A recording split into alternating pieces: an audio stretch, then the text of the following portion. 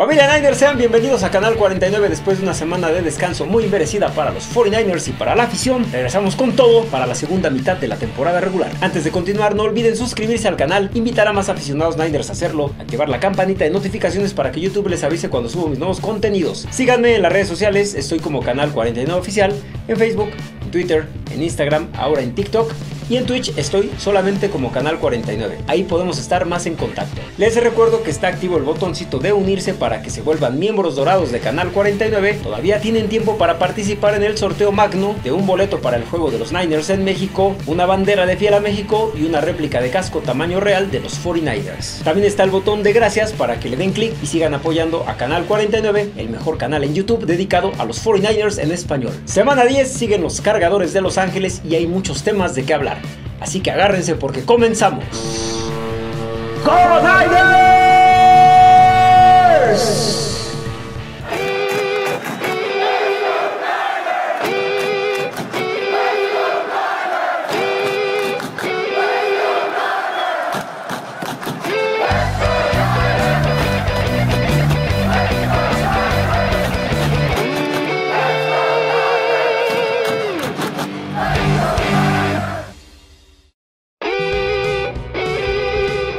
¿Cómo están hermanos Niners? Espero que muy bien después de una semana de descanso que si bien no fue lo mismo sin los 49ers, nos dio oportunidad de disfrutar la NFL sin el corazón al mil y por qué no, hacer alguna que otra actividad con la familia y amigos. Pero ya estamos de regreso y más que listos para la segunda parte de la temporada regular. En lo personal, muy ilusionado con lo que espero ver de los 49ers en los juegos restantes. Divo Samuel, Arik Armstead, Kyle Juszczyk, Drew Greenlow, Aziz Al-Shahir, Jason Barrett y Elijah Mitchell, entre otros, podrían reaparecer en el terreno de juego este próximo domingo y eso me hace inevitablemente sentir muy bien y muy positivo con lo que se avecina para San Francisco. Ya la semana previa al descanso con esa victoria sobre los Rams, con McCaffrey en el campo nos dejó un grato sabor de boca y con el descanso y los jugadores que regresan todo pinta realmente bien para el equipo. Presiento que viene lo mejor de la temporada para los 49ers y espero no equivocarme.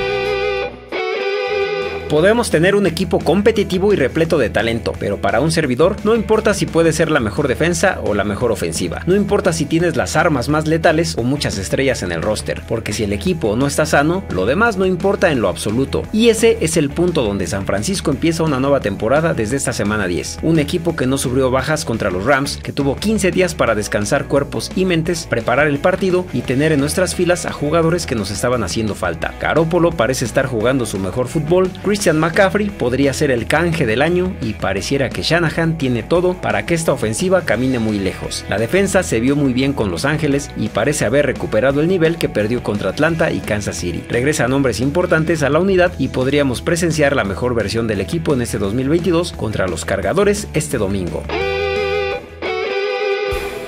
Para los 49 es de suma importancia acumular victorias, pues como ustedes saben, Seattle se empieza a querer despegar. Con la victoria de los Seahawks contra los Cardinals en la semana 9, los halcones marinos se ponen con marca de 6 ganados y 3 perdidos. Nada mal para un equipo del que no se esperaba mucho y nadie pensaría que a estas alturas serían líderes divisionales. Así que los 49 no pueden desaprovechar cada oportunidad que se tenga para acortar las distancias con los dirigidos por Pete Carroll y seguirnos despegando de los Rams y los Cardinals. Pues esta semana Seattle se mide con Tampa Bay y los Rams se enfrentan a los Cardenales. Para mí, una situación inmejorable para que los 49 se levanten con una victoria este domingo y empiecen a trazar el camino a la postemporada. Sí, tal vez aún es muy temprano, pero es en noviembre donde los equipos meten un pie en los playoffs o se empiezan a olvidar de ellos. ¿Y por qué digo que inmejorable? Pues bueno, por todo lo antes citado. El equipo viene descansado, recupera a muchos elementos indispensables. Tuvieron 15 días para recuperarse y el staff pudo preparar este encuentro a detalle. Se juega en Los Ángeles, que ya es el Levi Stadium del Sur y seguro se llenará de la Faithful. Es la antesala para venir a México motivados y bueno, aunque el rival no es una perita en dulce, hay razones para poner a los 49 favoritos en este encuentro sin lugar a dudas.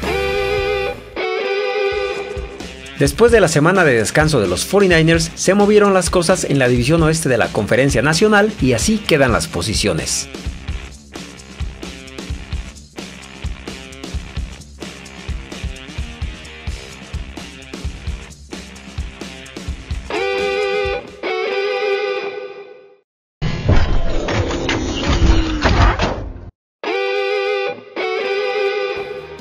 Nuevamente, como cada semana, les dejo el análisis a fondo del rival aquí en la parte de arriba, para los que gusten saber cómo llegaron los Chargers a esta temporada. Pero ahondemos un poco más en el equipo y lo que enfrentaremos en esta semana 10 en Los Ángeles. Los cargadores llegan con récord de 5 victorias y 3 descalabros, en segundo lugar de la división oeste de la americana, detrás de los jefes de Kansas City. Llegan con la ofensiva número 9 produciendo yardas, 4 por aire pero 28 por tierra. Un ataque que tiene como protagonista a Justin Herbert, quien es el quinto mejor pasador de la NFL con 2.254 yardas, promediando 6.4 yardas por envío. Suma 13 touchdowns por solo 4 intercepciones y un rating de 90.6. Este ataque promedia 23 puntos por partido y de la mano de su coordinador ofensivo Joe Lombardi ha conseguido ser uno de los ataques aéreos más peligrosos de la liga. Sin embargo, sus problemas para correr el balón los vuelven una ofensiva unidimensional. El secreto de esta ofensiva es el tiempo que suelen darle a Herbert para ejecutar, pues solo lo han capturado en 10 ocasiones en la temporada. Por otro lado, la defensa de los Chargers es la 21 de la NFL, pues permiten 352.3 yardas por encuentro. Se ubican 14 contra el pase y 29 contra la corrida. Además, permiten 25.8 puntos por partido, lo cual los ubica como la penúltima unidad en ese rubro, es decir, la tercera peor de la NFL, pues pese a contar con elementos como Joey Bosa, Sebastian Joseph Day, Kyle Banoy, Asante Samuel Jr. o Khalil Mack, no han podido encontrar la química para hacer lo que se esperaba al inicio de la campaña, una de las mejores unidades de la NFL. Su coordinador defensivo, Renaldo Hill, no ha podido acomodar las piezas y su trabajo ha dejado mucho que desear con el talento que cuenta. Para los 49 es un juego complicado, pues enfrentar ataques aéreos top de la liga nos ha costado al menos dos derrotas y los Chargers son sumamente peligrosos lanzando el balón. Los 49 son la mejor defensa de la liga y la mejor contra la corrida, así que yo no espero que los angelinos corran el balón más allá de primeros y algunos segundos downs. La llave para San Francisco es presionar a Hebert y hacerlo sentirse inseguro, pues recordemos que no se ha sentido cómodo con la lesión que tuvo en las costillas hace algunas semanas, así que los 49 tienen que ir por él, como en la segunda mitad del juego contra Rams sobre Stafford. A la ofensiva no hay más, la dupla Christian McCaffrey y Elijah Mitchell serán quienes carguen con el ataque enfrentando a una de las peores unidades contra la corrida y no meter en problemas a Jimmy G. Divo es otra arma que se tendrá que utilizar por tierra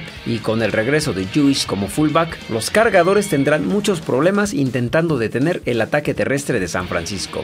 Ayuk, Divo, Kittle y Christian McCaffrey serán las válvulas de escape en la ofensiva costa oeste para Jimmy G. Controlar el reloj de juego, prioridad para los Niners, si buscan salir con la W este domingo del SoFi Stadium o el Levi Stadium del sur, sobre los comandados por Brandon Staley. Los miembros dorados de Canal 49. ¿Quieres participar en el sorteo para el boleto de 49ers contra Cardinals en el Estadio Azteca, una réplica de casco tamaño real o una bandera de fiel a México el próximo 14 de noviembre? Además de los sorteos que hacemos mes con mes en el canal, dale click al botón unirse y disfruta de todos los beneficios.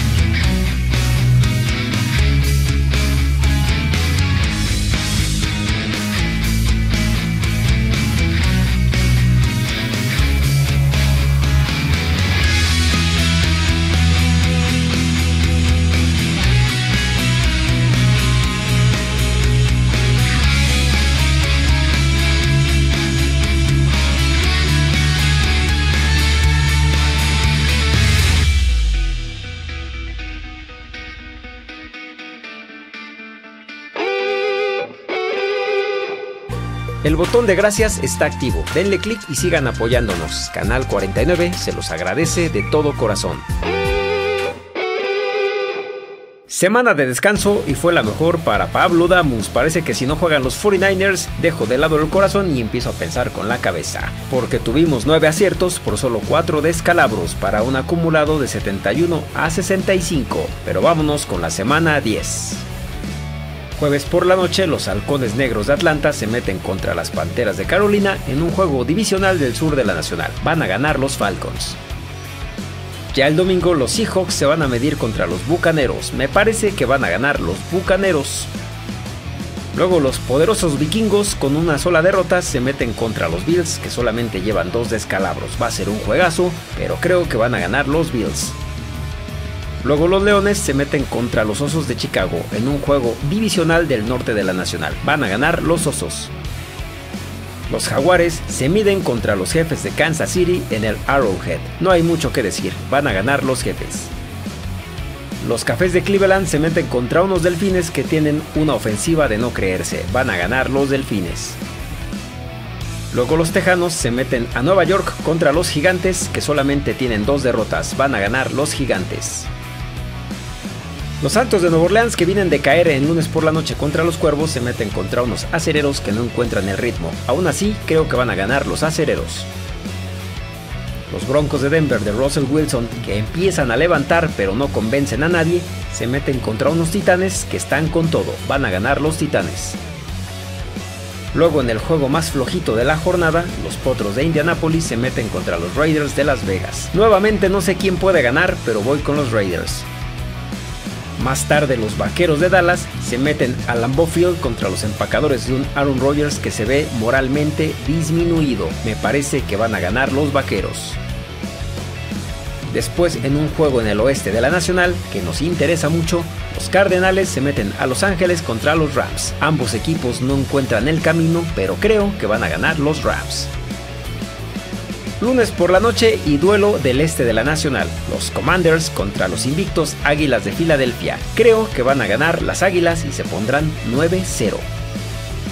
El resultado de los Niners contra los Cargadores lo verán el sábado en YouTube o ya lo vieron el martes en Twitch en Canal 49. La Faithful Mundial en Canal 49. Agradecido con todos los que mandan sus imágenes para esta que es su sección. Síganlas mandando a el correo que aparecerá en sus pantallas y ya lo saben, ya lo saben, ya lo saben, con Niners.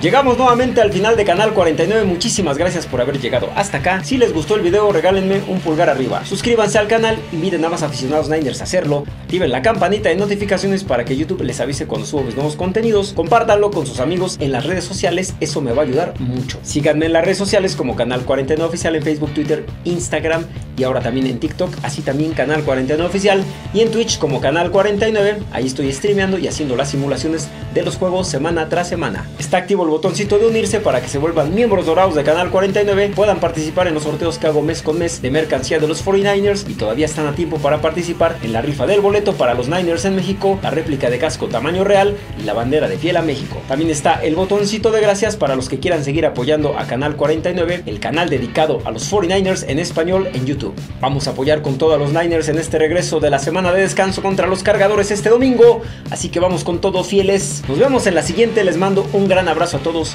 mucha buena vibra, cuídense mucho y ya lo saben.